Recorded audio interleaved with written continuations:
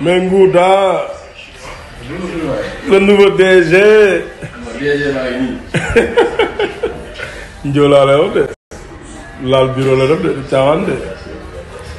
ci Ndio.